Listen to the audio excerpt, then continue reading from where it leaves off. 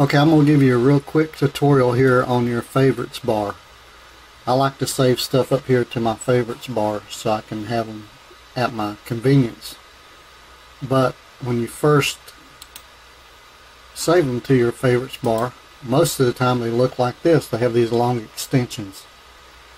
Well, in order to change that, you just put your cursor or your pointer over one of the icons and right click go down to customize title widths and go down to icons only. And then it changes them to just icons so you have fast access to your shortcuts.